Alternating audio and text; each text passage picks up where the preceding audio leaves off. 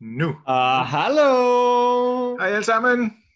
Velkommen tilbage. Det er snart tid til guldkorn session. Absolut, og det bliver allerede her på mandag, den 1. februar kl. 20.15 på YouTube, Big Heart Skateboardings uh, YouTube-kanal, og ellers på det link, som får dig ind i Zoom, hvor vi er nu.